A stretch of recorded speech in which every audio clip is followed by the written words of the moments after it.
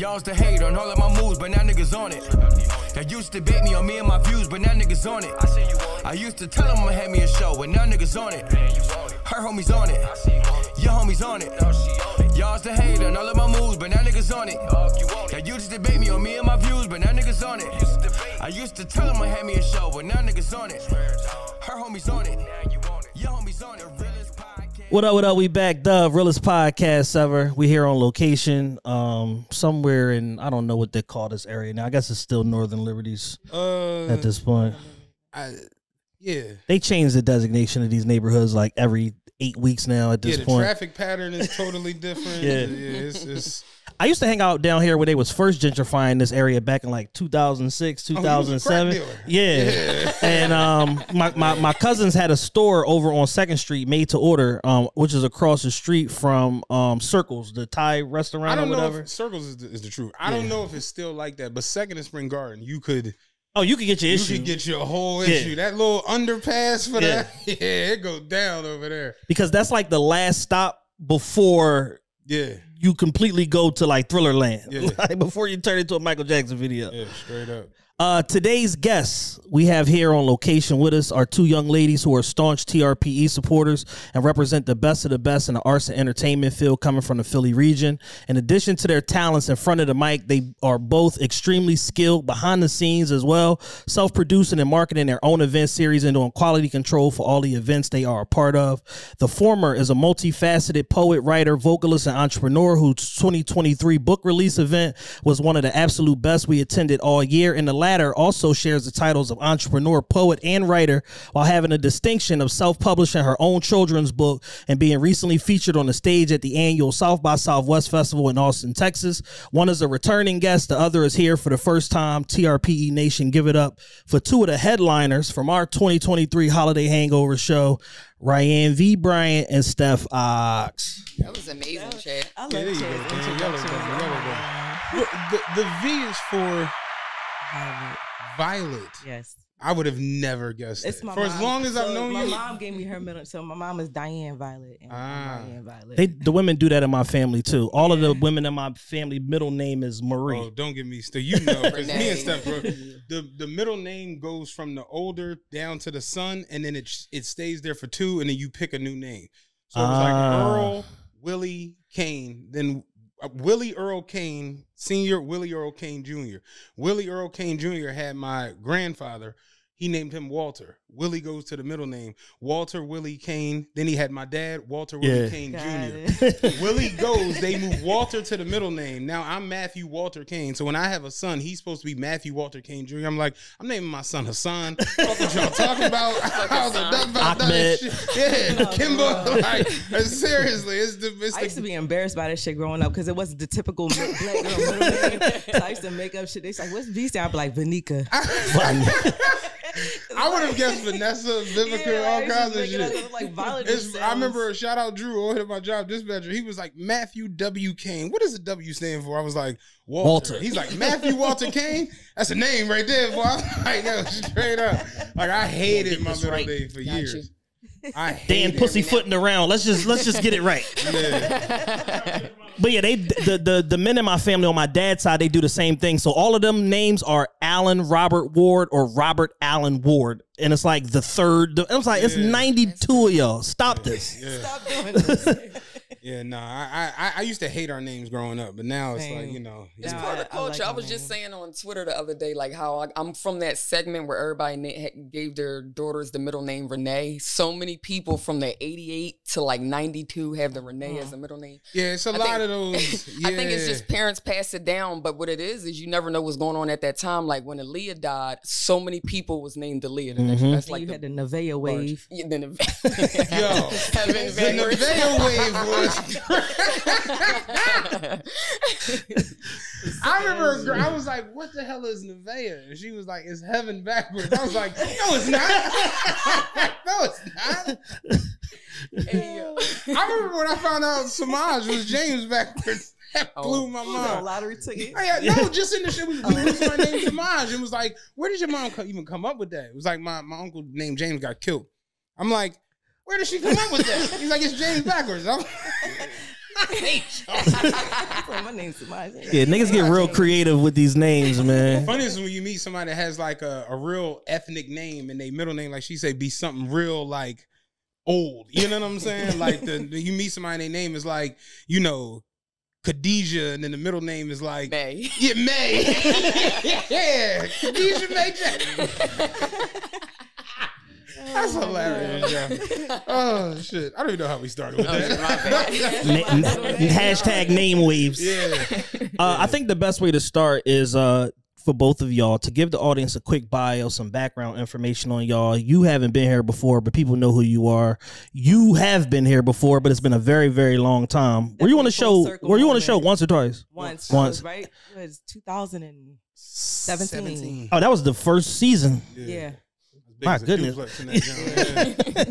It's a long time all the way ago. up the northeast. Yeah. Space. That wasn't even a Norby. That's Feasterville. Yeah, that's Trevo. Trevose. Yeah, yeah, yeah. Yeah, we was borderline. We was drug addicts. on that one. Yeah, that's funny as hell. You was with uh Nikki. Yes. Yeah, shout out Yes. Nikki. Yeah, yeah. All right, so whoever want to go first, Okay, it's on y'all. Let you go first. So go ahead, ask the question again. Oh, um, give the audience a, a quick bio, some background info, who you are. You know, why, Well, why the name- hell should we have you as a guest? Like, let's Which is- substantiate which- why you because here. Me and Matt talk so many times about me coming up here, and I'm like, I respect y'all so much that I want to make sure that when I come up here, I have something substantial. Well, well, you're the only one because Yeah, because niggas mad, come up to mad homeless Right, 'cause you always niggas want to come up.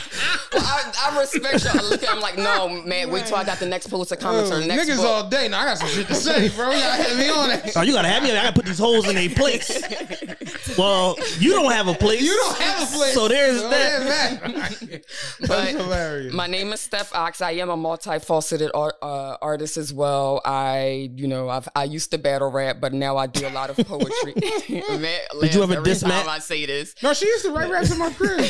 like on his steps, like Yeah, Second But, um, Amendment. the crazy thing is, I stopped battling battle rapping because I realized that I'm like too sensitive for it. Because I beat a girl inside of a like battle rap, and you could shout out to Kalin from the office because you know he already knew.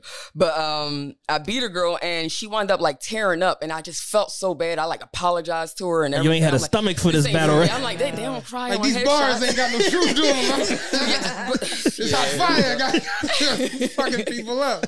but you know now i you know i write children's but everything i do is centered around language whether it's the children's books whether i'm on stage whether it's speaking um writing articles i have proofread wrote res- resumes for people i've done like pretty much everything circled around just storytelling writing artistry i feel like with me trying to do so much i wanted to find i feel like the i'm more so good in the entertainment field, if that makes sense. Like Got you. I, I can do all of the other stuff. Like I'm, you know, smart enough to do a lot of stuff, but for the most part, to entertain. And I want to be able to story tell and have people, no matter the audience. So I have like, I recently, we was at two days ago, was just having breakfast with a bunch of kindergartens and first graders, just storytelling through all my stories, and they jo- enjoyed it. Uh, last month, it was a bunch of high school boys and just talking about like the gun violence in the city. And then, you know, you guys see me perform all the time. And I think that what I've learned is that if you know how to talk to your audience, you can reach your audience. So Right. that's, That's real. everything. I know I don't know if I answered your question, but No, that's you did. around everything no.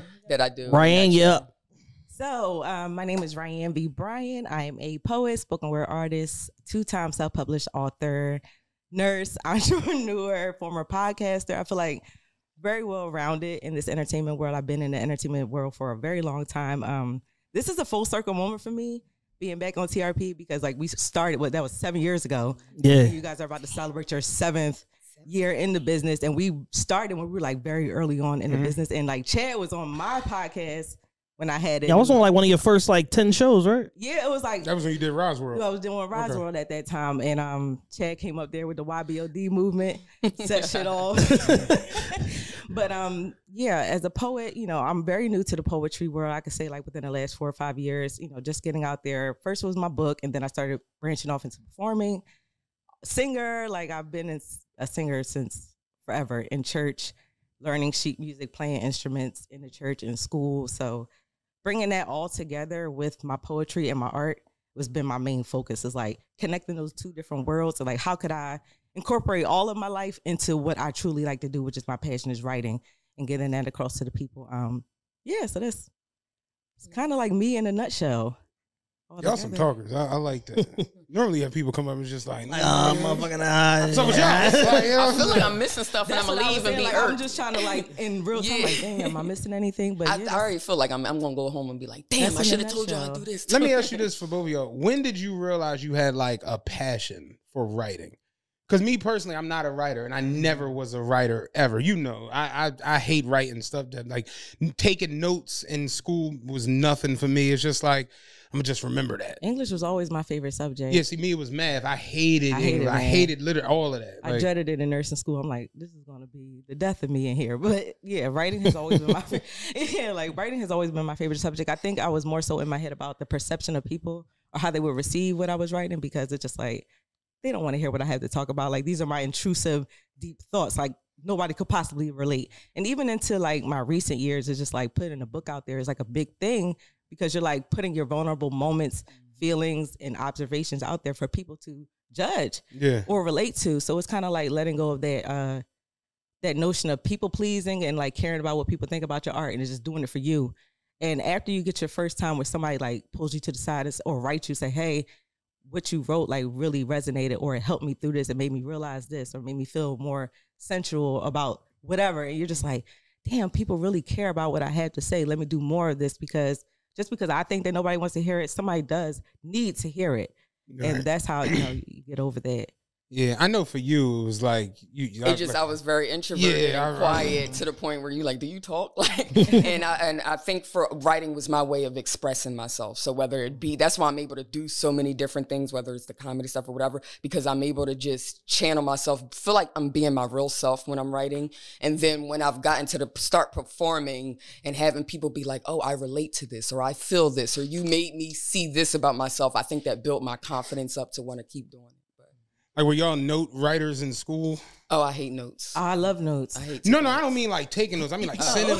Remember, women would send detailed notes to you, like Oh yeah, I was, professing. I was heavy love letter drawing. yeah, I wasn't no love letter boy at all. I, like I used to like write love letter, put in somebody's locker, like yeah, baby. I do. li- I like. I did write like love letters, but nothing like.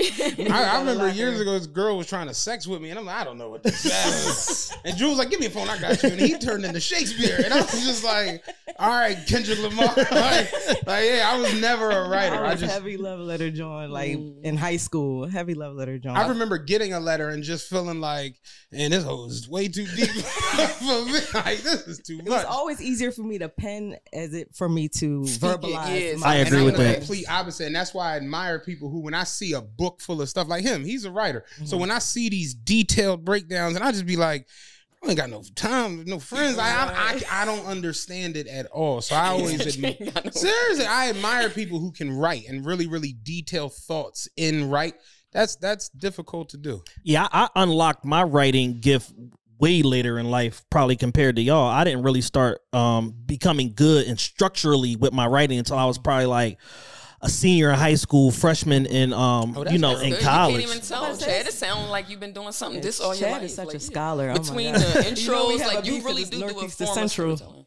Northeast to Central. Yeah. bitter rivals. But yeah, I, did, I I I figured out how you know I I could express myself through writing, but I wasn't like structurally good. Like I would almost like write how I speak or whatever like that. And then you know you start. I took an AP English class my senior year of uh, high school, and then I took a lit class my freshman year and my literature professor was like you're very very good but it's like raw we need to hone this in and then she showed me how to like structurally make it make sense where to end your thoughts at where to begin a new thought how to tie it all back together in the end and then from there i was like pretty much good I respect it, and I I was always the complete opposite, where it's like I can illustrate a vision talking better than most people. Yeah. But if I gotta write this down, it's, it's over. That's a talent. F's in the itself. chat. Yeah, I tried to. uh You know, everybody, of course, young black people all try to rap, like you say, Yeah. try to rap and do music and whatever. And I remember like having this thought of being a rapper. Like I have personality, I'm funny, and I remember I wrote like three or four pages of raps, and it was just like it got worse and worse as I went. how down. am i declining in quality I didn't even drop my first show yet. and I'm falling off. Like, is this rapidly descending. This shit sucks. like, so that people who are able to like really, really paint portraits Yeah. with their. I, I, I- will give credit to my senior year English teacher, Mr. Richardson from Northeast. He made us do recitations. So Mm. that was like our form of like public speaking class. Yeah. And we had to like memorize the Gettysburg Address. Um, our deepest fear is not that we are inadequate and shit like that. And we would compete against each other in class, like, and we had to like have very strict diction. So we said at you, he would make like a sneeze face. Like, "Ugh, get out Yeah, of I, here. I, I definitely think that matters. Like Yes. your teaching, your foundation. I went- Absolutely. you know, I went to Saul, and it was just like our English teacher, Mr. Garibald, was just like, "Uh, what was what was when you be quiet, silent, sustained reading, twenty five minutes read." It's just like you know they don't they don't care. You gotta get them horses. Like that's just reality. So we weren't focused on any of that. But I I, I, meet March 'em. people. I meet people who did AP Lit and all of these different advanced classes. Mhm. And you you can really see it in the way they're able to like pen the paper. It's fucking and phenomenal. When did you start singing? You said in church. in church. Like at what age? So I'll I'll push it back further than that. So we used to have talent shows, of course, like elementary school. So I've always been into music since a kid. Right. Like my mom said, I used to sing Johnny Gill, my my my, like in the backseat, like what the hell? Like, but talent like shows in school. But we joined the church when I was ten, and the music director took me to a musical convention. It was called the National Gospel National Convention of Gospel Choirs and Choruses. So I was 12 years old at the time. I was playing the drums for the church. I was playing the drum set, the drum kit. And he was like, you know, I want you to come to this convention with me. That convention, like we come together, like all like this country, all cities form choirs according to your age group, and you learn like sheet music for like four days, and you perform it on like the fifth day, and then you know you celebrate after that. But it's all church stuff. But we were learning sheet music so young, so like that kind of helped me recognize tone, recognize sound, like how to harmonize and things like that. So that's Melodies and top lines. yeah, like and, so, like if I hear somebody singing something, I could easily like hop in on it because I'm an alto, of course. But I could easily hop in because that's how I was trained. Like even when it comes to playing music, like music on the drums, I could pick up. I know how to read sheet music, but that started when I was like 12 years old. But a lot of people don't know that about me. It's not something I really go around talking about. But like, That you sing? did I sing or that I play I, instruments? I'm not gonna lie. I I knew you sung because I'd seen like a clip of you singing before at like uh what Rents do? Not them the the Oh. like uh it was like you doing what they calling me like a karaoke uh, type thing. Oh, okay. And I, I saw that and I was like, oh, she can sing a little bit. So when we came to your show, mm-hmm. I wasn't ready for like that, like the harmony. yeah, like Yeah. she's about to climb on the piano, like one of them cabaret singers. Like this is Yeah. crazy. Like I wasn't ready for that. It was just like that oh, was that, that was, was so time. fun for me to be able to combine like my world of music poetry together because like i said not many people know that about me so like just like y'all were like what the fuck like yeah, I was blown away. I was just like, wait, what? Like I didn't, Yeah. I didn't know what was going on. I, I literally, I, I, it was, it was, a, it was a lot going on that Right. day. You know, we don't get into that, but it was a lot going on, and I, I kind of was just like not really knowing what to expect. So I see the band, I see the DJ, I'm just like, all right, what's, and then, then the way it all flowed, I'm like, oh, this is, I'm like, we gotta step our shit up, man. We got, we Yeah. got, we gotta start performing. that was so fun to put together just because like i said i knew it was going to be like a shock factor but also just to give people an experience like poetry doesn't have to be one way like steph and i always say it's not a monolith so it doesn't have to follow like the same regime you know to be considered poetry but to also add that instrumental background i think it just gives more feeling and to it your opens her, words and- her up to more audiences. I like right Are y'all fans of where the poetry world is right now? yes and no. I can agree with that. I Yes, feel and like that's it. Just me looking at it from the outside. But I also know the poetry world is bigger than Philly, and I know that if you if because I have a goal and because I have an end game, I can't take you know I can't let certain things you know what I mean cause me to not move or whatever. Same thing, y'all pretty much go through it in y'all Yeah. situation. I think too. that's what like something I had to overcome myself is not getting too attached, emotionally attached to the perspective and the environment of where Philly poetry scene is at this point because I think coming into the Philly poetry scene it was like thinking it would be different than the rap scene, the you know, Mhm. party scene, because you experience that and you see like oh people backbiting each other, like being hitters. I'm pretty sure you guys have experienced it in your Oh, tenure. man, of, like, you in Philly, you I got Yeah. podcast PTSD at this Yeah, point. I- if you get selling it. apples and somebody's back by with you, Chad yeah. being in like the party promotion scene, like I know he experienced this a lot, but I thought going into poetry, I'm like, this is all kumbaya. Like you said, get a Kangol, little kufi. This is all Yeah. peace. And like you get into these rooms. you see, I put my Kangol on for nothing. you think it's all peace, but you get into Got my these backpack, my chew stick. Hello. I'm ready. my chew stick, got my, my turban, my incense, and you know, my crystals with uh, Mel. Yeah, about my crystals. rock on the porch, on the charger. Like, this is crazy. just, just I guess just to put a pin on what she said is I think that a lot of times people don't know that, especially with poetry, you can find your audience. What and but and I think that a lot of times people when you get into these spaces, it feels like they're being judgmental or they're measuring you up against something that you you know what I Right. mean. So that's that's when we say yes and no. It's like obviously it's going to build us to a certain point, but I was talking to a friend um last Tuesday and I was just, you know, talking about like my goals over the next year and how I had to overcome like that personal attachment to just not being satisfied with where the Philly poetry scene is because I love my city. I love mm-hmm. Philly to death, but it's just like sometimes I'm withdrawn because I don't want to be around certain energy because it brings me down. And she was like, you know, you have to realize like you will get hurt whenever you're in this entertainment business, but at the end of the day, you're strong enough to withstand that pain. And that's what you're here for. Like you got tough skin, you can handle it. So I was like, yeah, it makes sense. But and everybody goes through that. It's not just poetry. Like it's everyone that goes through that in the city. And I feel like you travel outside of Philly, you get so much love. Yeah, I was going to ask you how different um is like the creative community here versus in you know other places. y'all Texas could y'all my could pick a place. We went Like- to Texas Texas year. is my favorite place. Steph headline uh wine poetry last October and I accompanied her on that journey and it was phenomenal. Like everyone embraced us.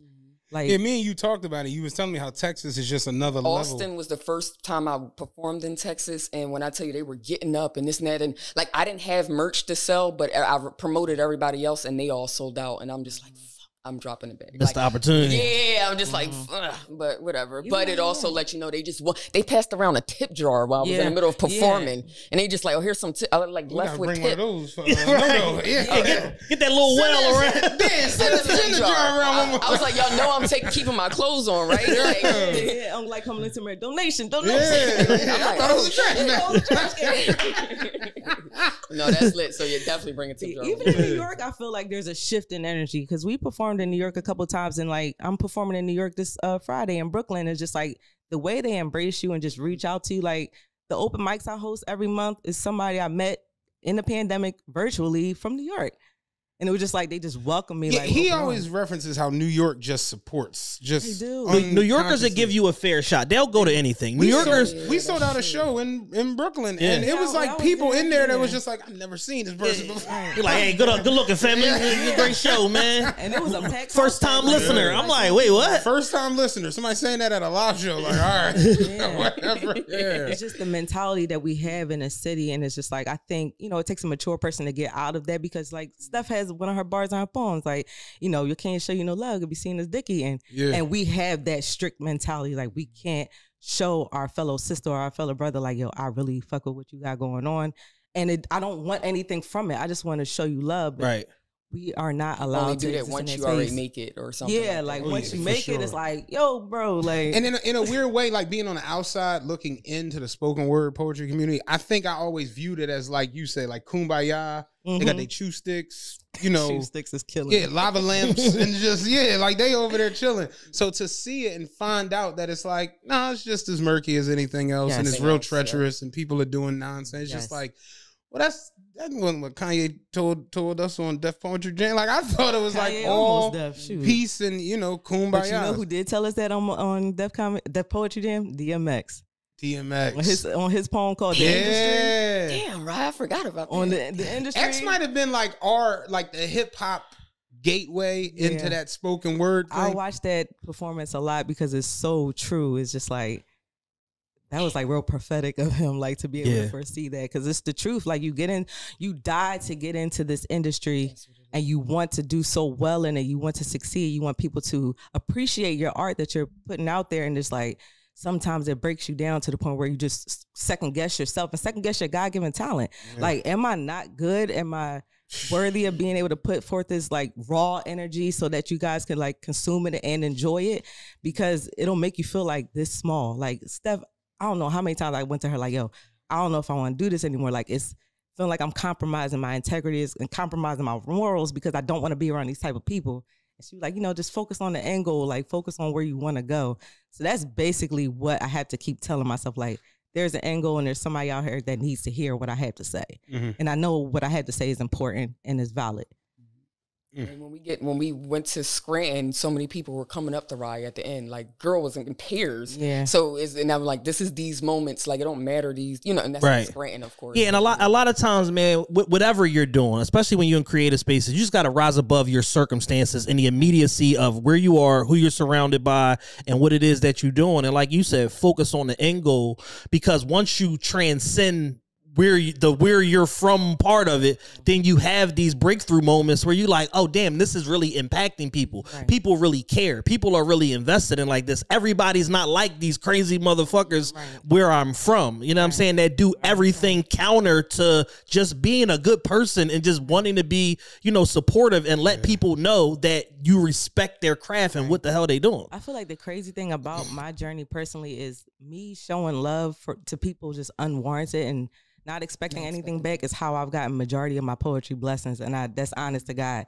Coming from Pastor Carl, shout out to Pastor Carl, he helped me get my first viral poetry moment with the Van Jones podcast. Um, Right, right, right. with the Where I'm From, Where I'm From poem, joint. you know Right. And then uh, recently with the Department of Treasury, a fellow podcast, we was on the same radio station, and he works for them, and that's how I got that blessing. So it's just like being a good person really puts take you you- in so many different realms of just experiencing all your blessings and you don't do it just because you're like oh they're gonna if i scratch their back they're gonna scratch mine later on down line just be a good person Uh, I want to speak to a couple of things that y'all have done. You just brought up you doing the Department of Treasury. How was that, and what was that for? so it was for their 40th annual black history month luncheon Okay. and um this year was focused on African Americans and the arts. So shout out to Joey Bada, bootcut boss. he um Twitter asked- legend. Yeah, Twitter legend. He um like I said, we were podcast mates. We were both on Soundwaves Radio back in the day. And he asked me like three months ago, like, hey, you know, they're doing a luncheon at my job. For, like make sure it's government friendly. I told him I knew somebody that could come, so I didn't know at, to what magnitude it was going to be. Mhm. I just think I'm doing like a favor for a friend Yeah. and you know i wrote i had to do a speech and then i had to do a poem so i wrote a speech shout out to c i don't know if you you know who c is right And if I nfic on twitter Yeah, yeah, yeah, yeah. Clarence, So, that's my yeah, homie. clarence so Yeah. you know, Clarence. so, That nigga, nigga, your name Clarence. yeah You know J Money Joshua. Yeah, my man. Yeah, C, C, C is C is one of those people that um number one he's he's in arts and entertainment. He's worked with and for BET for a number of years, curating the BET Hip Hop Awards, BET actual awards, various like art installations and stuff like that. He put our guy Kelso, who was part of Holiday Hangover, in that world of you know putting his art on a higher level. He works with you know Foot Lockers and all kinds of stuff like mm-hmm. anything that's like around arts and entertainment. But more importantly, he's somebody that sees and digests a lot of content and always like sees stuff. For instance, he randomly hit me like a month ago and was like, "Yo, random." When you was having the rap label, you was like on some Westside Gunn shit because you was doing this, that, and you was curating and you had the merch and the, that's crazy. All right, enjoy your day, my nigga, and just like disappears. Like moment yes and it's, it's just like, all right, back, good looking. You know what I'm saying? And then I respond back, and he don't hit me back. But then when he get another thought, then he comes back to you with the next thought. You know what I'm saying? But he's a culture driven Yes. person that is very hip, very forward on everything, and doesn't really miss shit.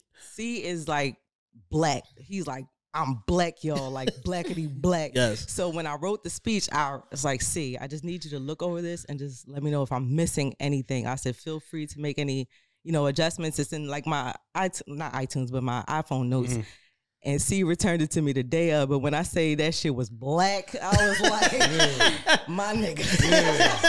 this is exactly what I'm looking for because um, Joey was saying that they had Al Sharpton up there one time. He was like, they specified that it has to be government friendly. He was like, I don't necessarily know what that means. I said, no racism and no profanity. Yeah. Like, that's all it is. So, you know, I get up there and I'm like, I wonder where I'm going. Like, you know, I know it's a government job and I'm, I'm driving. I get to the gate and it's like a man with like a gun, pulled a gun out. I'm like, oh like where am I at? And he's like, Are you are you supposed to be here? Like, are you checking? I'm like, Yeah, I'm the guest speaker for the day. So he checks in with the office. He's like, Okay, you can come in. And I'm like, where- put my blick yeah, up. Put, Yeah, put the blicky away. Like, Where the fuck does Joey It's a friendly out here. Yeah. yeah, I park, I get in there, I gotta walk through the metal detector, all my stuff. And I'm like, where am I at? And when I got there, and you know, everyone greeted me so, you know, they were so welcoming and hospitable. And I get and I see the ASL person and the, and I'm like, oh, this is a big deal. Like Yeah. and I see it the US Department of Treasury and I'm like, oh my goodness. Like it's like live streaming for the people that are working virtually. It's like a mm-hmm. big luncheon with comfort, Jeez soul Louise. food. And I'm just like a podium up there and I'm looking at Joey like, what did you get me into? Like I had to do this, but it was so profound. Like it was one of the best moments of like my poetry career. And like they took me on a tour in the back so I could see how they print like government checks and stuff. It was super cool. But just that moment, I think like as being a black woman, it was just so monumental because it was moments like this. Like my ancestor couldn't do anything like this. Yeah. We weren't able to be invited or You wasn't allowed considered. in the department of nothing. Yeah, we weren't invited, considered. Cotton department. Yeah, cotton nutted. Like, yeah, that was the only department. Get on your hands and your knees and pick this cotton. But to care about what a black woman had to say regarding black people and the arts and how we bridged that over the last however many years, it was like very important. I'm like, wow. And I think like also like my, my mom passed, so you know Matt knows, and it's just like, damn, my mom would be so happy. Like, cause she never really got to see that part of my success because that was like the height of her uh, diagnosis. Like when I did get into writing and publishing books, so that was like very important. Like I'm representing, you know, my family, my Right. father, my little sister is like looking at me. She's like excited. Like it looks like you at the White House. but like yeah, like this is like I'm like a standard for my family now, so they can look and say like, look what my aunt, look what my sister, my cousin, you know, Yeah. did. Yeah, I was trying to I was trying to scumbag her ID to come to the lunch, but it ain't. Yeah, I was so mad. I was didn't like, work. I wanted to I wanted to be at that joint. How the hell you gonna get in there? I was like, hey, listen. Nah, that's decent as all That was hell. cool. Let me ask you, because two things with you.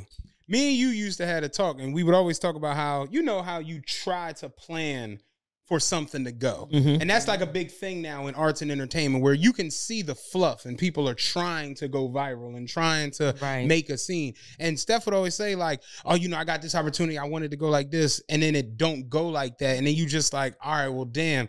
And then you wound up having like the most viral poetry moment we may have ever seen. Unexpected. I looked a mess. That was Unexpected. That- that- that's the funniest career. Unexpected. Yeah, Like- Steph hit me was like, "Yo, my hair wasn't done. I wasn't was even like trying to get on the like I mic." came off. I, I just literally came to support, and they were like, "Oh, come on, come on." I'm like, "Come on." I'm like, I'm like, or maybe they ain't gonna put it up there or whatever. Like that. He posted that and you video. that first line, what the fuck you checking the me fuck for is me? and it went Yeah. everywhere. Berserk. it's the most viewed poem on Instagram. Wow. Damn. I could believe it because you was at like seven million something. Yeah. Mhm. Pushing eight million views, but. Holy shit. That's major. for now, so I ain't beat me yet, but I- Yeah. Yeah, we going for Coming up 10 next it. time. Yeah. But now every time I post something with them, people are still viewing that or whatever. Like, Mhm. that. yeah, so no. And you, so afterwards, you wound up headlining Voices in Power. Voices, and yeah, I started headlining. That's where I start uh, that opportunity. So shout out to Voices in Power for that because that collab or opportunity or whatever them posting that video did allow me not just opportunities with them, but to be able to meet and uh, other people as well.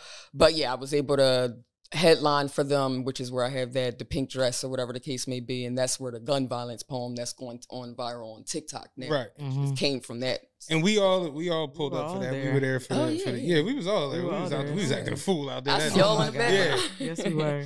When you started, did you ever see that? Like headlining twenty minute sets and stuff like No, that. like at that's that's my out biggest thing that makes me that I feel proud about because I'm like, damn, I got actually on my screensaver now, like to be able to do a 45 minute special, and I'm like, damn, if I'm able to do 20 minutes like that, that's nothing to be able to add another 25 minutes. I've never seen a poetry special, so once I'm able to, you know, so if I'm able to, I think all of this, everything is just growing pains. Whether all of the good stuff that happens in this journey that we talk about, all of the bad stuff, and it's going to make. I always say it's going to make sense soon. Stay the course. You're so. right. I've never seen a poetry special. I'll be the first one. No. I'll come work it here. Have you ever? I've, No. Yeah, I've never seen that. No, I've I seen poetry albums, of course. 45 Right. minutes, yeah. Yeah. Mm. But I'm also working on an album which can kind of coincide. I gotta get on the album. Listen, I already Chad have gotta do the intro and I gotta do the Listen, skit. I already, I, I've been every time y'all drop something, I've been like screen recording stuff. Like Chad just said something yesterday where he was like that I know is a perfect intro for one of the poems, but it, I don't even know if we're gonna use it. But I just just it was where you was like everybody something with the hot hand. Everybody is only as loyal to the hot hand or something like that. But it was like a Talking about, you talked about Travis Scott running with the. Uh, Oh yeah, yeah, yeah, yeah, Whatever yeah, the quote yeah, was, yeah. I got it saved in my phone. I'm like, damn, that's a hot intro. But I got too many from y'all that y'all gonna have to be on there. I already talked to Chad about Yes. talking to him next month about certain stuff Mhm. about an album. So. Yeah, no, that's cool. Oh no, I'm just you know Oh, bouncing with the Oh yeah, but no, I'm sorry. I, I, I, thought you had, like, a yeah. question. I just start going off, but yeah. Yeah. Is there? You just mentioned doing a forty-five minute special or doing a poetry special. Period. Do y'all have any like things that are like? I want to achieve this. This is an astronomical goal. Do you have any of that I, type of want to stuff? win a Grammy, mm. Yeah, but I, up. only for writing. Like I don't want to be the face of the like. I What's don't the guy be who the main wins the. Grammys for poetry? J. Ivy. J. Ivy. I see so his he was name the one that gave John Legend his name. He was on Kanye's, like Mhm. had certain Yeah. stuff. Um, so yeah, he's he's very, well, connected, versed, and uh, guy. his latest album his was ex- executively produced by Robert Glasper. So it's like he has Okay. a lot of That's my connections. guy. He's on. Ooh. Yo, I ain't gonna hold you. Ever Robert since Glasper. Breezy said, "Who the fuck is Robert Glasper?" I hear that name four or five times. all the Let- time. Let me tell you, I was so upset about that because as like a musician and someone who like truly enjoys jazz music, he's like responsible for so much like behind the Yeah, scenes. Breezy, Just, like I got these Lambos. And I, oh, I was so But I hot. fuck with people who don't have to make so much noise, but they do. Y'all just talked about the with the Kendrick thing or something like that on Yeah. last night. It's like you don't have to make so much noise to. I just saw Robert relevant. Glasper. He was here at the City Winery and just think this man is like Grammy nominated, Grammy award winning, and still like doing small, intimate touring. Like Yeah. to me, that's a luxury of life to be able to be on that type of scale and still can have those type of intimate settings where you're not overwhelmed. It's just like you're still keeping. that's something I think that. I, I know personally. I've learned more and more doing this podcast with him and just going now where I don't even. Somebody recently was like, "Yeah, man, like you, you one of the y'all one of the biggest deals in like the arts and entertainment space in Philadelphia," and I'm like, "No, we not." No, you're not. Like, no, we not. And he's like, no, really, like y'all really are like y'all podcast seven years, all the accomplishments y'all have, all these different All the things, getting honored from it. yeah. And I'm just like, we just be, we just talking shit. That's like imposter syndrome a little bit. and I'm starting to realize more and more. It's like you really, we kind of look at like Jay Z. And then if you're not that, then you're not a good rapper. And it's just like, no, there are a gazillion successful. Ra- look at Tech N9ne. Look at Right. you know uh, uh MF Doom. Like all these Like different everybody. people where you'll never see them with mainstream success, but dudes are like got 48 songs Yeah. that have charted. Just, you you don't really. You look at know. somebody like uh like Currency who came out of that blog Fire. era and you know he was with No Limit with Young Money that didn't work out and then now he's driving Cullinans and Bentleys and all of that the same as the artist with Yeah. a song that's on the radio every 5 minutes and it's like he gets to do whatever he wants at his at his leisure and at That's his an leisure. interesting point. If I could compare how I would want to see my career go from here on out, it would be like a James Fauntleroy Mm. currency type of person. Like I can see that to though. be able to pick and choose when I want to come into the industry, put my music out there, Yeah. and then like retreat back and just pen for other yeah. people. Mhm. And I still get to have the luxury of not being the main face of everything, like getting that type of heat, but also still doing what I love and like having the freedom to do what That's I a, love. that's a great point that you made about somebody like James Fauntleroy because the average listener is not even going to know who that is. Mm-hmm. But I watched um, Russ's interview on Flagrant recently, and he was talking about people in the music industry that are a source, meaning like they are the ones that everybody else gets their sauce from. They come in the room and it's like, oh, what we talking about? Oh no, that's bullshit. Do do, do, do Mm-hmm. And somebody like James Fauntleroy is a source. The guys from fifteen hundred or nothing. They're the them. source. Yes. Um, Sia, it was the person that he brung up that you know they had the chandelier song years ago, Mm-hmm. but then you look through her credits and you like Rihanna, Natasha Bedingfield. This was like, oh, okay. It's like she's the one that everybody's drawing inspiration from. There's a young lady, I forget her name, but she Am just Naja, you got Ester Dean, like people of that nature. Yeah. that, like they're the source for so many creative stories that we know of up front, but we don't know that they're the face behind the scenes. Right. yeah. So that's what I like. It's just you know being in the room, but don't have to be like in the front line of it. Yeah, you you know you you. It's funny because he had an argument with somebody on Twitter or what something, and they like went daily. You know what I'm saying? It's like, what else but I get A Tuesday. I, I always get with old Chad Wallen again. I'll be like, all right, whatever. keep me posted. You know been- what I'm I've been very good. Telling on him to you. Yeah, that- keep me posted. I don't know what to do. I want to say I've been very good the last year. I have not been acting up on The social last media. year. Yes. what did I do? I ain't a been on. Twitter since 08. No, no, last year though. Like, This 14th Twitter? This is the one. Twitter, man. I'm all, but no, and it was like people have this attitude of like, if you're not in front of the masses, then somehow you're not good, you're not successful. Not. Oh yeah, that was the corny comedian boy that I'm gonna punch in the Right. face. Um, and I, um, and I, I Malik look at, I Bazil. look at like Oh, somebody shit. like a currency, or should I give you one that's on that same level? Slim Thug. yeah. Yes. You know these type Mm-hmm. of people where it's like I don't know if I want to be Drake. I don't know if I want to put on a, a a roller skating outfit and have to jump around with all that pyrotechnic shit there, and I don't know if I want to do that or have to do that. Like, and you look at somebody like that where you almost can't even exist. And it's fucked up, but he's really put himself in a position where he he's going to have trouble existing for the rest of his life. And you know, all the toys and all the things that make mm-hmm. up for it. But it's like we had the joke, me and her was talking about like we were we were in Wawa. Have you had the saltines from Wawa? Yes. They are phenomenal. I don't know why they're good. They I are like good. them. They are all that. But I took like two bags of them and walked out of the Wawa, and I'm like, Beyonce can't do this. like Beyonce just can't pull up the Wawa and steal at two in the morning. And it's just Anywhere. like, like, really, like just you could. Ne- so it's like we have this thing of if you not that, then you ain't shit. Right. But in reality, it's so much dope shit going on. There are so many saxophonists, mm-hmm. drummers, background singers, pianists that you never hear of. Yeah. And you look up and you see house hunters and the dudes, the piano players. They, yeah, my budget is 1.3 million. Right. But like, Right. seriously, The problem is people got a faulty definition of success. Everybody's Yes. success is individual to people. So like some people can be successful, like you said, just write it in the background. Some people successful if they're on screen at one Yeah. time and go away for the rest of their life. Chamillionaire, I talk about him all the That's what I just time. mentioned earlier. I was just like, Listen, Chamillionaire, yeah. I, they like come I back want for his millionaire. life. One, one, he like whatever. Yeah, that's cool. Yeah. so what? yeah, you could call it. You I, some I got a meeting be at hurt by 11. that. Yeah, like- Tomorrow, whatever. Little tech meeting. Yeah. Like, it's too subjective to put it into like a cookie cutter standard. Like mm-hmm. this is what success has to be for everyone. Like everyone, like you said, definition is different. One thing I noticed with, and it, it happened with both of y'all, and I don't even know if y'all peeped it, but like after you went viral with that thing, I noticed, especially looking at a lot of different poetry situations where like people were almost chasing that, like going after. Oh yeah, we talked about because you were just like, why is everybody trying? I was like, I don't know. Yeah, because it was like they're trying to get that same shot.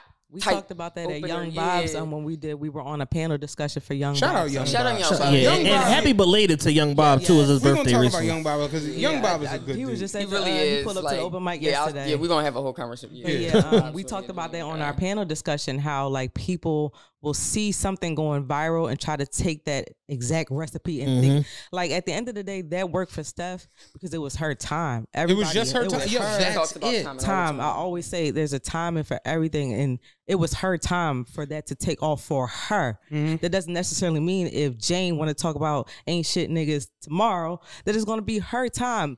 The way everything was curated to the audience, to the viewers, to the timing of everything for her just being there in that exact How time. yo, it's so because I That was remember I told you because she at first couldn't understand. Remember it hit like three point Yeah, I five was fast. like, and you now was I'm just- like hiding because now I'm- I'm, getting I'm the like. I'ma keep it a all of you. these questions. if you were dialed up, hair freshly done, eyelashes done, it would almost be like the way the people view it is like, oh, this chick. There's this bitch, just this life. and which you almost it almost made sense for you not having your hair done. It almost just like I look what the fuck, Yeah, man. Like it, it I'm gave that, a, it- yeah, Yeah, and it made people gravitate towards it in that manner. So it's like, yeah, you never really know. And I noticed with you with the show when you did the the show for your book, you started seeing events eerily. I noticed it, and it's Like people start randomly just putting effort Yeah, into their events. yeah. But this That's is true. the thing, like, and you know, I hate to.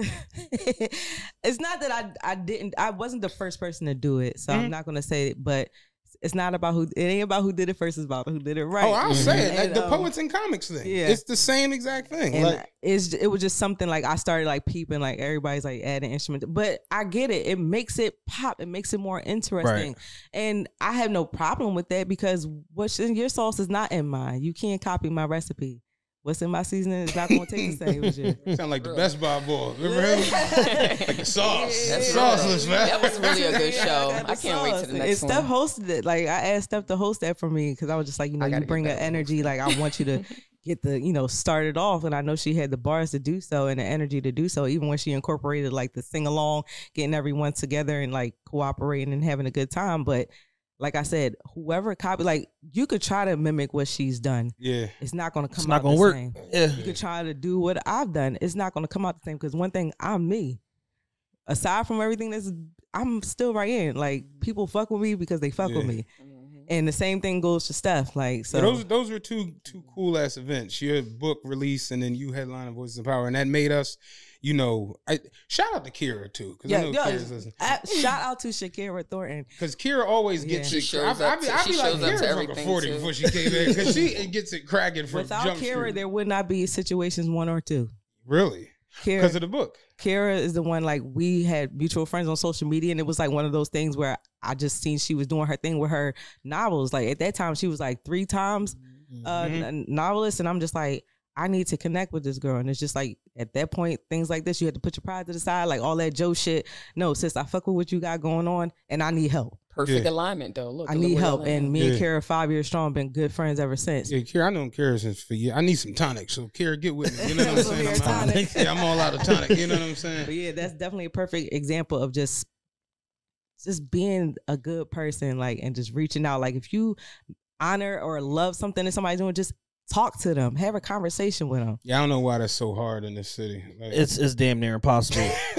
Real quick before we segment, because I have a very specific question I want to ask y'all about some event stuff. But Atia Boggs is the young lady's name that I was thinking of. That's uh, like a new source in music. She wrote 16 Carriages for Beyonce, Wow. and she wrote Lay Bankz' new song Girlfriend. Girlfriend. You said her name is Tia Boss. A- Atia Atia Boggs, Boggs. Okay. Now I did not know she wrote 16 carriages. know yes, that either. powerful young That's lady. So fire. look look her up, and you'll see all of the I follow a lot of song like Yeah, people like yeah, I that. That's who I like to follow on social media because that's who I like to stay, you know, connected with to see Yeah. what they're up to. Like that's dope. Mm. Shit. both of y'all performed at our holiday hangover event um which was a, me- a meshing of music uh art comedy podcasting um all under you know one roof what were y'all thoughts going into and then what was your thoughts coming out of that event Yeah, you wanna go first? Going into it, I was not gonna hold you. I was nervous. I was so nervous that I came to visit y'all Patreon just to see how y'all do it, just to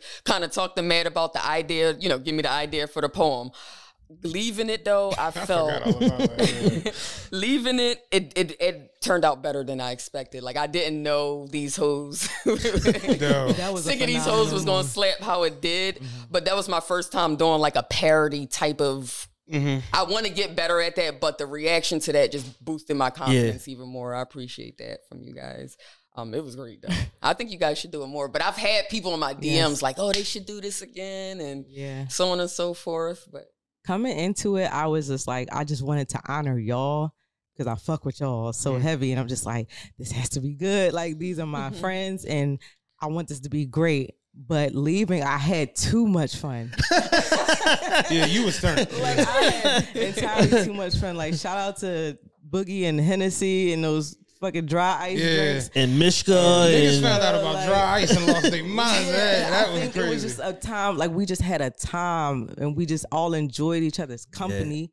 It felt like some Harlem Renaissance shit. Like Yeah. it felt like we was at a speakeasy. I think Right. y'all make great hosts. Y'all Like, do. it- y'all- y'all- like it's natural. it was nice to see you guys not be like you guys relaxed. Like you guys were so relaxed and just Can not, we be- you know, people don't understand this shit. Like going into the show, it be like, gotta do this, gotta get this, gotta we gotta do Yeah. and, and to the point where I'm at PJP on Saturday Yeah. with a cart bigger than Dan. yo pushing you- this shit you- around. You almost forget to like have fun. yeah. And I was telling him like, I, I just one show.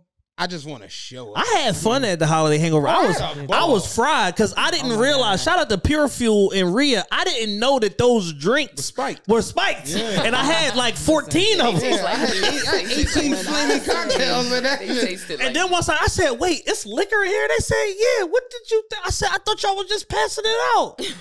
In hindsight, and like when you guys released the footage, I was like, oh my god, Ryan, you were so fried. Like even my performance, it was just like I could tell I was fried because I was just like, yeah, nah, from the two Yeah. and five. I was like, Yeah. oh my god, You you're you was heavy into your. Monifa up there. I yeah. was. You was uh, Like, acting it's like the lady on Martin. Yeah.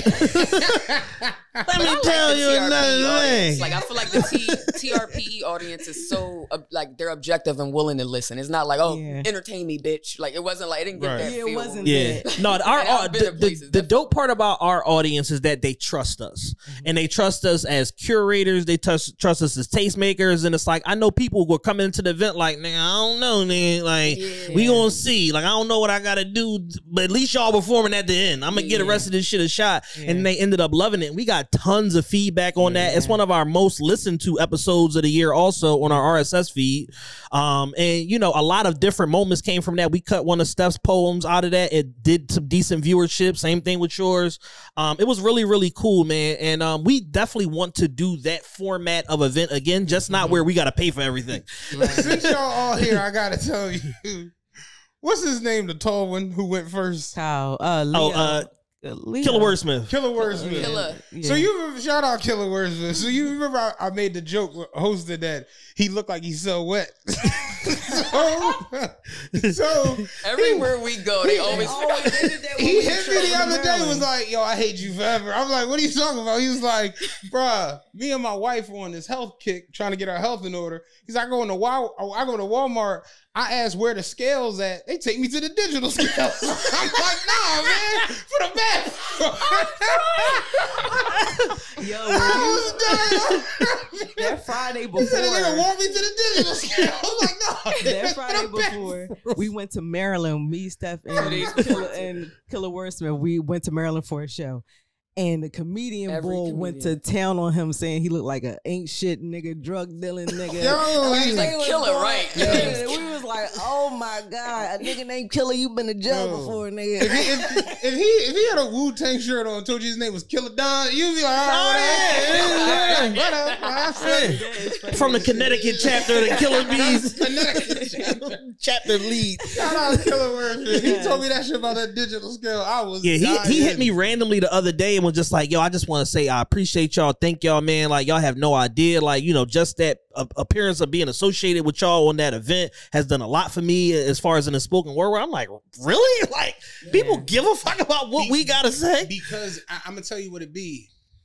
And I just just looking at, at that, like if you're not creating your space, it's very hard to just get time. Mm-hmm. You know it. You got to go over. It's almost Yeah. like being a comedian. Like you mm-hmm. got to figure out how you can get on stage, how you can do the set and the third. Shout out Clint Coley. We talked about that on our show with him. You know, it's hard for people to just find an audience. Period. Right. So the fact that, and that's some shit we gotta like take at times. Like the fact that you can get hundreds of people in a room Facts. to listen to just just about anything Right. is like dope as shit because so people can't really get that all the time. So it's like I got that same thing from him, Scooter. Everybody just like, yo, man, I really appreciate just being just being thought about. Yeah. Yeah. Because there's no guarantee that you have to think about people for a lot of these things. I always leave with saying, you know, thank you for considering me because there's so many people doing so many of the same things. It's just like for you to look at me and say, I want you on whatever I'm doing. It's like an honor. And it doesn't matter who it is. Like, especially for y'all, it was just like, Y'all in a Damn, space man, where like, y'all we evolving. really- so yeah, like you said, we've been supporters since day one. So it was just like such an honor to be able to headline your show. But the truth is, we lean heavily on y'all to mm. flesh out, you know, the show, at least from the poetry standpoint, and trying to find the right counterbalance between like masculine energy, feminine energy, Right. topical stuff, not having like overlap from people and stuff like that. I'm hitting you like, yo, what you think about this person? Right. I'm thinking about having this person on the show. What you think? Oh yeah, no, y'all should definitely have T sleeves because he just did such and such. such. Yes. Like it's like because y'all are in that world, and that's just something that me and him always do. Is we lean on people that are experts in a particular Mm. field when we're trying to, you know, get to the bottom of something or try to, you know, have a baseline understanding of it. unbiased and we can give honest opinion. Yeah. You know. And that's important because a lot of people will sway it. Oh no, Your this is my man. people, And, you yeah. know, like Yeah, they're, like super duper. you can't be a trusted source if you're not going to tell the hundred percent Right. raw, honest truth. Right. Like, Right. So yeah, when we when we did the the idea, came up with the idea for the show, you know, we threw it out to each other. It was just like, yeah, I kind of I like and I it it the thought of it came from your poets and comics where i was like i went to steph's event you know shout out black we were sitting back there and it was just like yo this is a dope idea to Yeah. see like poetry comedy poet comic Anybody have too much time, so you get to enjoy. Right, Yeah. you get enough time to like laugh. Then you get enough time to like really, really, you know, Yeah. yeah. back laughing. I'm like, I, I really, hey, you laugh. I'm, I'm, I, I, because I'm just thinking about when we were at Steph's show at, when she headlined uh, Voices of of Power. Power, and Matt was like in his whole poetry bag, and he's like, "This is new to me," but yeah, I, I was enjoying. Like, I'm, a, I'm gonna keep it a buck with you. Being as though I never was able to write, seeing someone get up there where there ain't no, ain't no DJ. right. Khaled ain't coming through them doors. you know what I mean? It's like somebody who's a stand-up comic. That's Yeah. why it goes hand in You hand. Where it's, like, make a room it's me and a microphone versus y'all. right, That is a real skill. yeah, And we do what we do as far as the podcast, doing it live, where it's like our live shows are hilarious. They're some of our best Yeah. shows because we we be fried and we just, you know, kind of go off the rails. But at the same time, being able to get on there, remembering everything, getting the crowd to engage with you, knowing when to hold for a second, to let the crowd really, really Right. go off and really feed off of that energy.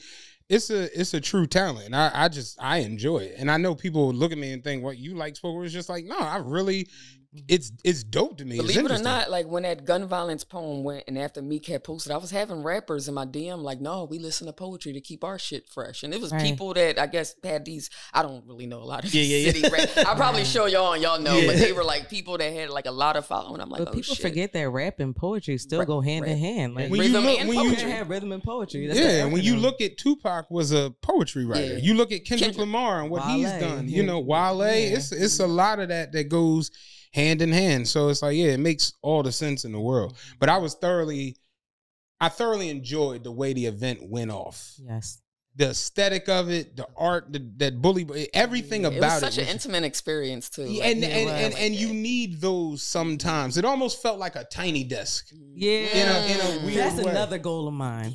to do a tiny, Tiny, desk. desk. What is a young lady? She just was nominated for a Grammy with in that whole category with J. Ivy. I can't Uh, think of her Queen name. Sheba? Not Queen Sheba, the other young lady, Oh, Aja Monet. Aja Monet. She has a tiny desk, and I, that was the first time I seen a poet Do it.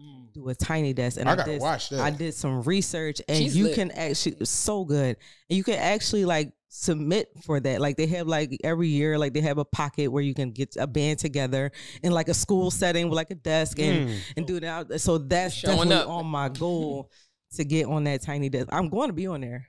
Like- maybe, maybe here's there. a thought. This is my entrepreneur uh, promoter hat going on.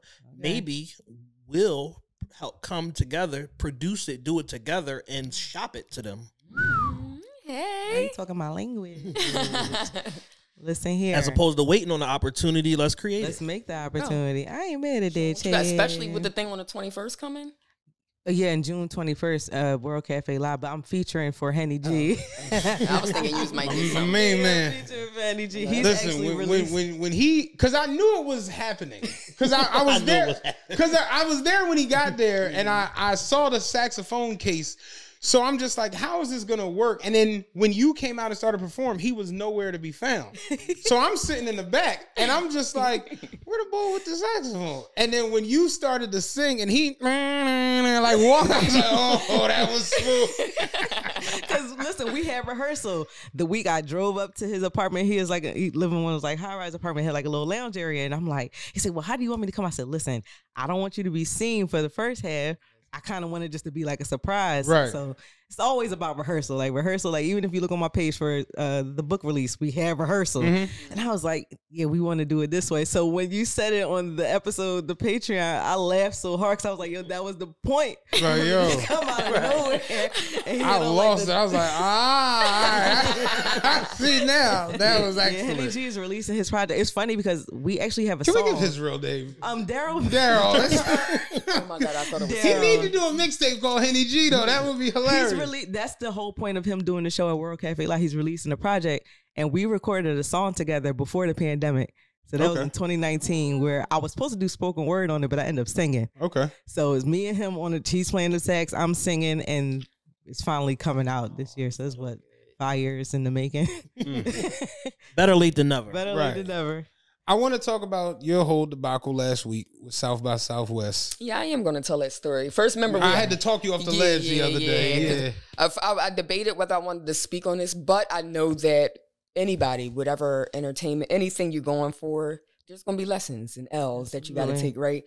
So leading up to the week of South by Southwest, it just was so many nuances happening. But to me, I'm like one of them people with grit. I was like telling myself, I'm like J Cole won't be in the audience, so like you got to figure out. Right, right, right. The day of Come the on, we sh- going to Africa. Like, like the day of the show, um, um, driving to the airport. I mean, not day of the show. The day before, I'm driving to the airport. My car died in Chester. I said, "F- "What the fuck?" Like my, I've never had anything wrong with my battery. I just got out, left my car in Chester, and Ubered to oh, the airport. I was Yeah. like, listen, like, fuck it. It's like, it's, it's no reason all of this shit's happening this week. I, you know, first plane ride there, um, something was going on with the weather in Dallas, which is the airport I had to go through in order to get to Austin. Mm-hmm. Um, they canceled three flights back to back, and the next available flight was the next day around like 12 o'clock, um, to where I would have been getting, it was like, I would have been getting to Dallas at like four. I had to be on stage by seven. So I'm exhausting all possibilities. I'm hitting Young Bob, who was out there on his birthday with his girl to come see me. So I just like to put that out there. That's why I say Shout Young Bob Bob. is like a, a G. But um, um, he's like, if you can get to San Antonio, it's not ideal, but I'll drive up there to go get you because it's an hour away. I, no flight was going to San Antonio. At that point, I started crying in the airport. I'm like, fuck, I'm about to lose this biggest opportunity in my life because of this shit.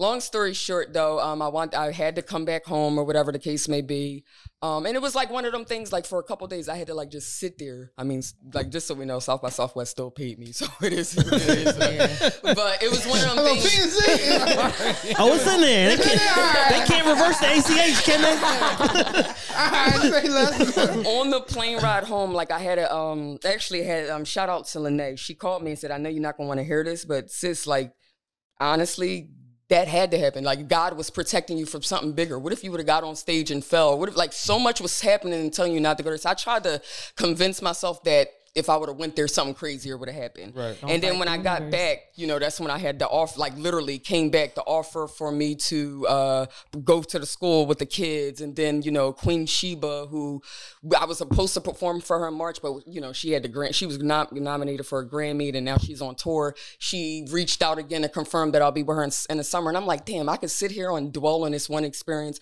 or know that I got the, you know, I'm still going to keep going. Got a So, KIM, keep it moving. keep it moving. don't But mean that shit hurt. I ain't going to hold you. That shit- Yeah, delays never mean denied. Yeah, that's what it is. And I'll be back. And trust I know I'll be back. redirection all the time. It's the spook. What you say? Delays never mean you're denied, and you got to trust fact. redirection all the time. No, that's real. And I Steph hit me and we, I we was we- crying. yeah, I'm just like, yo, I'm in the gym, man. You sitting there like the like the monkey on the phone. he don't know what to say. Yo, shut up. All right, oh, one more set. One more set. No, I'm coming. I'm coming. Hold me down. I don't know what I thought you was. I knew you was gonna say something to make me laugh, and then I get over And we it. start, and I and. I, I I had to tell her, I'm like, listen, man, I know it from just the years. We seven years in with this podcast. How many things have gone right from shit we? If we Very got a hundred things, it's been like Very three few. things that have gone the right. The way. last year straight, nothing's gone right. nothing, Nothing. Not one thing. But, but that's the journey. Right. And I think it was important for me to say this because y'all do hear me get a lot of W's. Y'all see the viral, like you know, y'all have heard me promote a lot. But a lot of times, you know, for everything I do promote, I take probably three or four L's behind closed doors. So I do think that any uh, person, whether you're a poet, podcast, anything, you're going to have to take a lot of uh, fail forward in order to make And, it. and it's so funny because I, I remember a girl had told me she was like one of her friends or something was like I, I used to really like TRP, but it's like they, they they they they complain, and I'm like, no, we don't complain. This is the realest podcast ever. So the same way we talk about when Chad is partying in fucking Bora Bora, or I'm partying in mm-hmm. Dubai, or he's Or buying a new Sixers phone, or I'm buying a fucking phone, or we're sitting courtside. It's like we got to tell you about when our deal shit not working, or when the venue bull janked real. us on some bullshit, or when the shit didn't sell out. Like that's the That's journey. real life. Instagram is curated people to only think in highlight mode. Which is why they Absolutely. quit soon as they get any type of Yep. obstacle. Any type of pushback. Yeah. That's why you look at somebody's page. They was doing credit repair. They was babysitting. They was sell, they was selling loud. I'm, I'm, I'm, I'm, a, I'm a chest I'm. I'm painting window panes. Like Dog, paying window dog, People don't want to get the scars, man. like the scars is what tell the story. The scars Real is the talk. story. Yeah. Look at me. Listen, don't be taking notes. Yo. shit. and, and the thing about on, on, on the party line, no, the scars is the story. and the, and the thing about life is, you know, when you are truly resilient and you're trying to achieve something, you got to be willing to take your L's with the same amount of grace that you take your oh, W's with. I say it all the time. I, I let Chad rock off when he was like SSSW, and I was like, yeah, go ahead. I mean, you got paid by some. Hey man, you want a flyer? and I still got that. So yeah, no, I that's- performed net fast. Like that. Oh, y'all ain't see me. Y'all ain't even see me. Yeah. But you, You must have been at the bar. You went to the bathroom. Nah, man, that's, that shit real. I was telling my homie, I'm like, you watch Sports Center and they'll show you Ant Edwards dunking on somebody. Then they'll show you Ant Edwards going baseline for a putback dunk. Then they'll show you Ant Edwards pulling up a three. And then you look at the final score and it's like Celtics 114, Timberwolves 101. You're like, what the fuck? Like, so that's how Instagram has made, and I, I've said it. When you, there are certain people I see on Instagram where it's just like, yo, it's never a bad day. It's never a confusing day. It's never a upside down. And I'm just like, there's no way life. that's That's, life. It's not life. It's impossible for life. that to be life. And we've just gotten to a place and and you know, it's one of them Jones where we don't even talk about it a lot. We don't even really we never really sat and was like, this is gonna be the premise of it. But it's just we talk about our lives. This is what's going on. I said last week, I'm like, this shit has been kind of all over the place for me the last couple months. So many people reached out to me Yeah. literally shout out to alicia roebuck shout out to anwar shout out to uh shit c-tez shout like it's so many kimba so many motherfuckers just started hitting me up just like you hit me up I'm about to kira hit me up just like about it, yo yeah. you like because you know we joke and play all Yeah, day but it's just yeah. like yo you you all right and We it's just like, like, it's okay to not be okay. Like we're just going through that Right. whole motion, you know. Dog. And that's one thing I've kind of gotten from like the spoken word poetry where it's just like you hear these these like removing of like the veils from people's life. Sort of like what you alluded to at the beginning. It's just like that's some real shit. Mm-hmm. So like your mason and the, the the grasshoppers in the mason jar, like that's some real shit. That's a Mm-hmm. real live poem. You hear these things and it's just like, yo, this ain't, you know, Cassidy with the fajita, you know what I'm saying? For the 90,000 time. Like this is real shit. Right. So it's just like, yeah, like one thing I've just, and that's the point I was trying to hammer home with you telling the story. It's like, yo, just because it don't go your way today, don't mean that it's over. Real talk. Because you'll look up in two, three days and you got to offer to do this, or offer to be on Right. this, That, what, and that's literally what That's happened. literally what happened. And it's just like, yo, you got to keep moving. Feel the feel. We literally tried to do a fucking uh brunch last year and that shit failed me. We lost bread. They was literally like, yeah, this how much it's gonna cost to do it. This how much you gonna lose if you cancel it. We just like, so it's a, it's a loss. It's either it's a double loss. It's a loss either It's a way. loss either way. And then in us losing that, we wound up doing the show Right. with y'all. And mm-hmm. look at every look at like how you say that's- killer words. And it's just sometimes the blessing don't even be for you, it be for other people. other people. Real talk. Mm-hmm. You just the you the vessel for the blessing and don't even know it because you got some old other shit coming down the line. It's just you just gotta keep going. Yes. That's the biggest thing. yes. So yeah, I you know I, I felt for you in that moment. I'm just like yo, sisters, all right. Listen, two days, but what was it by Monday or Tuesday? I was like, all right, it's over, whatever. By time, I, yeah, I, I had to, I had to feel the feels though, because I, you know, I And that's natural. There's nothing wrong with it. Very natural. I, was- yeah. I remember some guy at the airport just gave me just the bartender gave me a bowl of like, drink, just like Yeah, that was the biggest.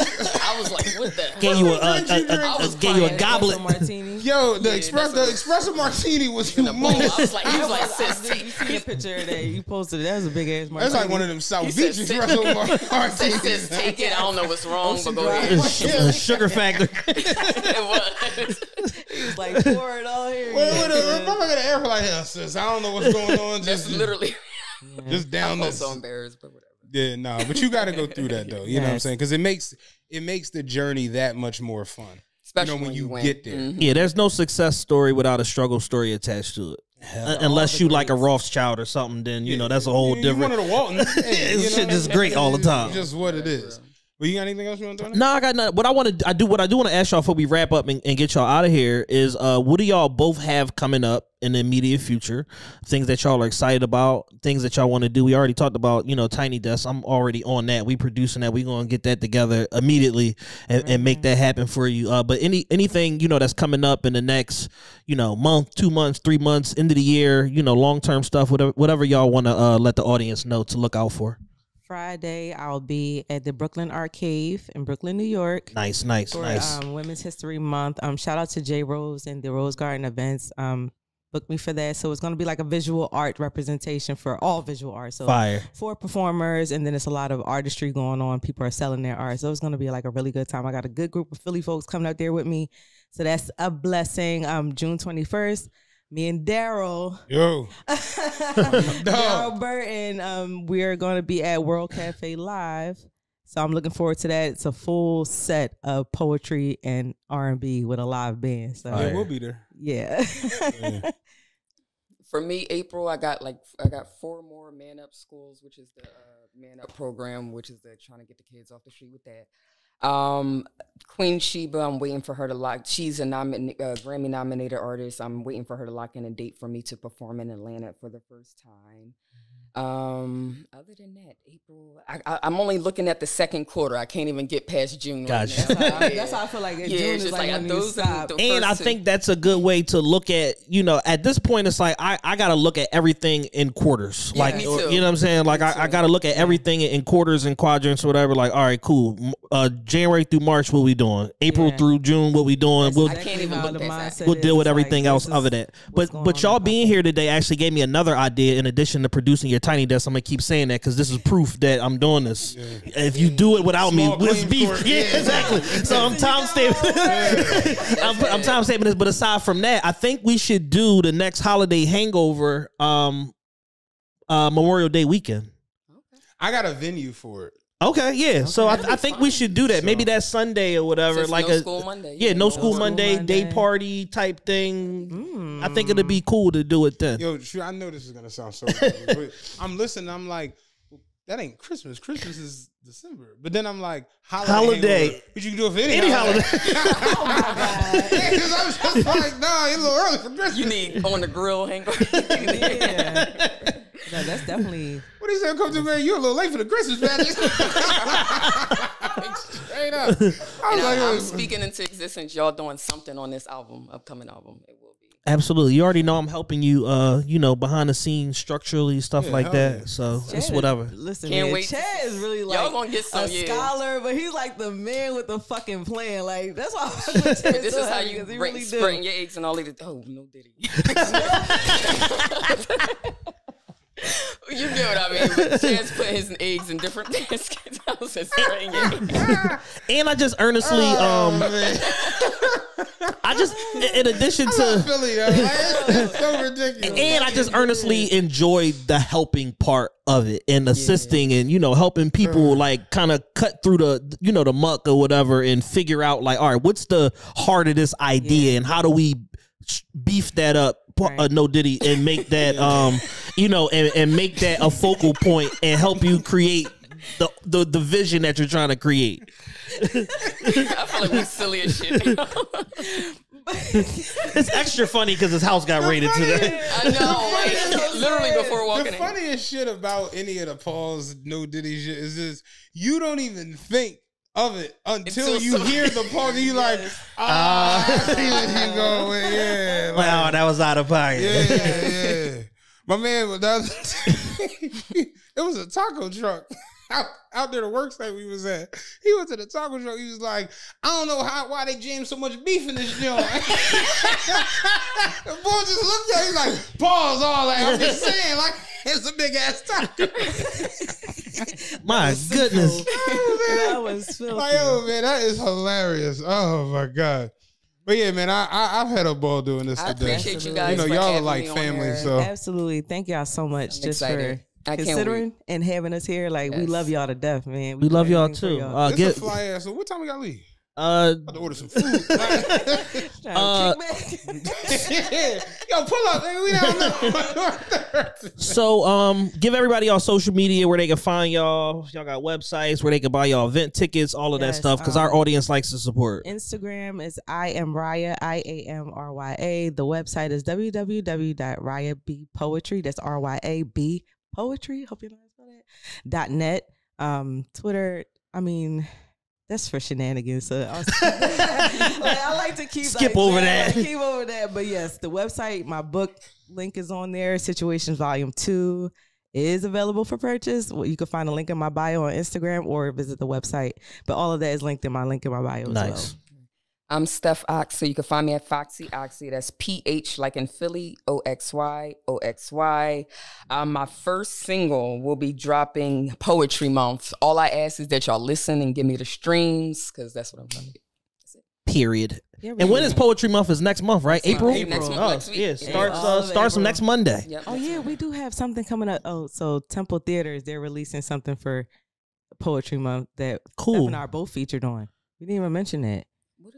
What is? But we just recorded. She's like, wait, I Steph like, just, oh, no. Oh, sure. yes, yes, yes. we just Steph, I was just at PNC. I was Ain't nothing gonna I say, ain't 'cause seen. I'm like, damn, I thought I had nothing else to do. I'm like, shit. Temple Theater. Shout out to Sabria. Yes, um, Sabria, she- she works with Temple Theaters, and they did like a w- poetry history, but it was like black women and erotic poetry. It was like a theme like that. So we had to record. So basically, it's like a live recording. So it was like I'm so scared to see how that go because I've never done erotica. Like I'm like I don't got no I sex. didn't, I, was do- sitting I here like go super, I didn't go super erotic. I feel Okay. like my erotic is for the books. Like I'll put my erotic poetry in the Hey, book. like, They tell me cut- that. Get down off See, the table. it's either zero to ten. So I'm like I'm like oh, oh, oh I hope I don't sound like Ryan, a like, I hoe. ain't see a piano. I just climbed on the table. Right? Sit down, Miss We shall see, but she said it's gonna be like 15 minutes and a mixture of everybody's stuff in there. So we'll see. Yeah, that is coming out in April. I for, we forgot about that. Yes. No, that's fly as all hell. Um. Oh, y'all bought up tickets already to the show. We got a Yes. show I got like coming three. Up. Yes, we do. coming with me. Yeah. April Huh? twenty I three. I don't even know who coming. Yeah, straight up, like, Y'all said seven dollars. Let me get the I missed them seven dollar tickets. They, they, They went in like seconds. Like people bought them joints. Yeah, Saturday, April 27th, TRPE live at Noto for our seventh anniversary show. Our anniversary is actually in January. We pushed it back.